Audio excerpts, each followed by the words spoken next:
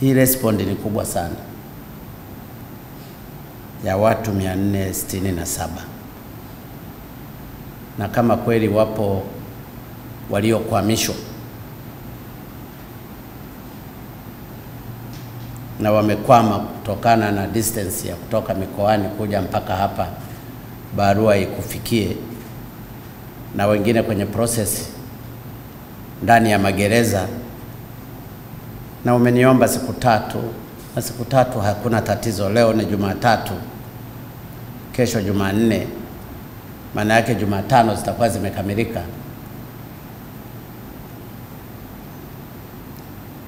Mimi naona nikupe siku saba ili usije ukaniomba tena siku zingine. Nilitoa siku hizo sita siku za nyuma kwamba watuhumiwa wote wanaotaka kupata huu msamaha kwa kupitia prosesi za kisheria.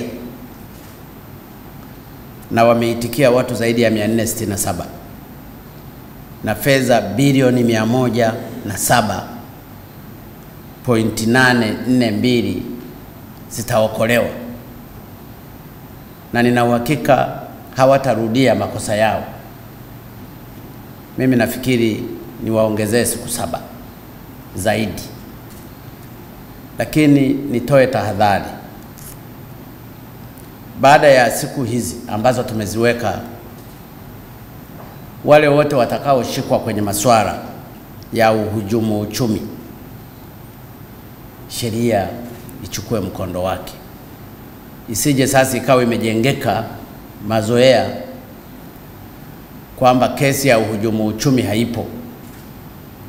Watakaoshikwa baada ya siku hizi ambazo nimeziongeza siku saba,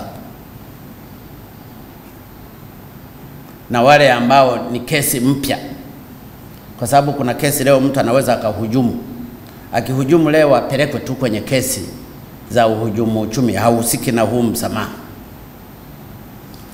Kwa hiyo kesi za uhujumu uchumi watakaoshikwa leo, kesho na kadhalika, wao waendelee na kesi zao za uhujumu uchumi.